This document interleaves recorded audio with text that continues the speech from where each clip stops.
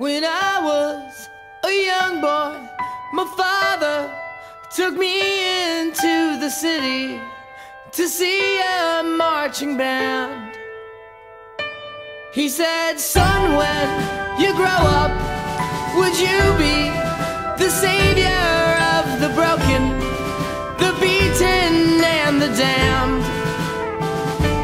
He said, will you defeat them, your demons? plans that they have made.